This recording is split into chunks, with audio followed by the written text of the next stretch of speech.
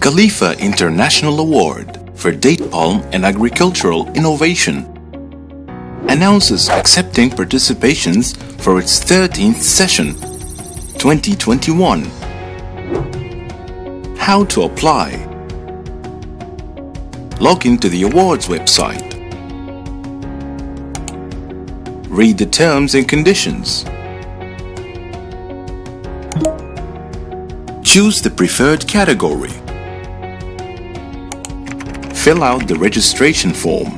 Click on Agree to Terms and Conditions. Upload the requested files as per category. The last date to receiving applications is the 31st of December 2020.